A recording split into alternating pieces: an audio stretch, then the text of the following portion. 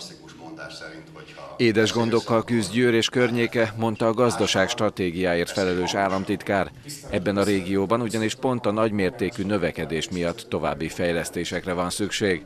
A politikus hozzátette, az elmúlt négy év sikeres gazdaságpolitikáját folytatni kell, és a jelenlegi lendületet nem szabad megtörni. Ami uniós forrás érkezik, az 7500 milliárd, abból legyen 1000 milliárd az, ami címzetten, dedikáltan, fejlettség alapján jut majd a, a különböző fejlesztésekre.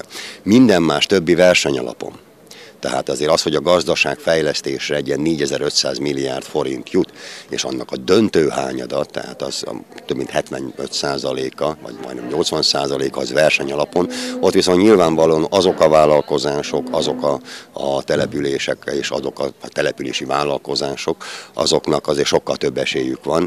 Szükség van az itt élők folyamatos tájékoztatására, hogy tudjanak az őket érintő beruházásokról, emelte ki a térség parlamenti képviselője.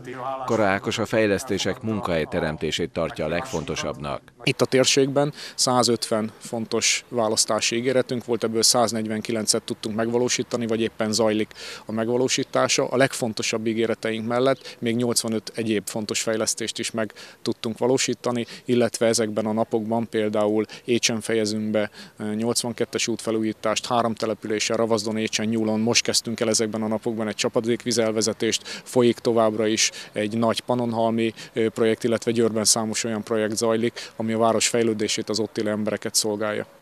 A rendezvényen a környékbeli polgármesterek is jelen voltak.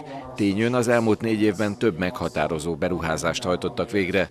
A település vezetője leginkább arra büszke, hogy a falunak egyetlen fillér hitele sincs. A legnagyobb projektünk Győrszemerével közösen a Szennyvíz projekt, ami két milliárd forint volt, hát ez maga egy akkora lépés, hogy ez, ez egy falu életében azt hiszem, hogy évtizedeken átszámolva se jön össze, esetleg egy alkalom, mert nálunk összejött, hál' Istennek, úgyhogy mondhatjuk, hogy rendben van a falu.